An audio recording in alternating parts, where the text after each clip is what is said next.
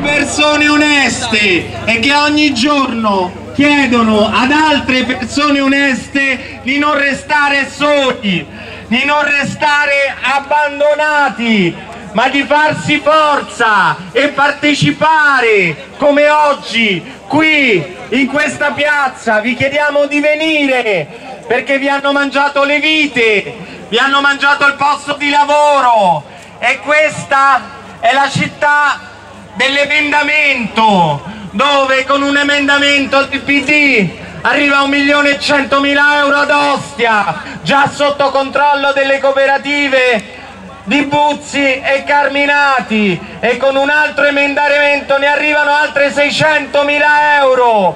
Questo è il regalo del centrodestra e sono tutti soldi che vanno alle mafie e alle 50 sfumature di grigio di questa lobby politica affaristica.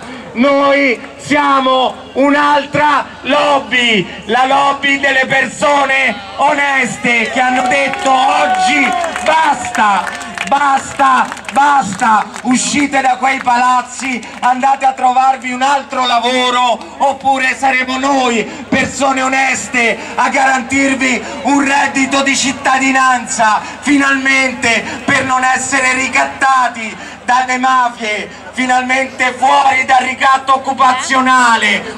Un italiano su cinque in questo momento prende meno di 780 euro al mese. Il reddito di cittadinanza è la scommessa perché abbiamo bisogno di una pausa di riflessione dopo vent'anni di queste lobby politico-affaristiche mafiose in cui riciclano il denaro con le lobby del gioco d'azzardo in cui riciclano il denaro con queste, con queste di altri cittadini onesti. Oggi sentiremo Beppe Grillo che è venuto qui a trovarci. Benissimo, abbiamo capito benissimo che oggi siamo tantissimi e diciamo basta, basta, Tassone, tu e tutte le persone che ti hanno coperto, Esposito, Orfini, il PD, andate a casa, andate lontani, andate via con i fasciani, allontanatevi, prendetevi una vacanza. Adesso noi diciamo basta perché siamo tanti, siamo decisi, veniamo da lontano e andremo ancora più lontano.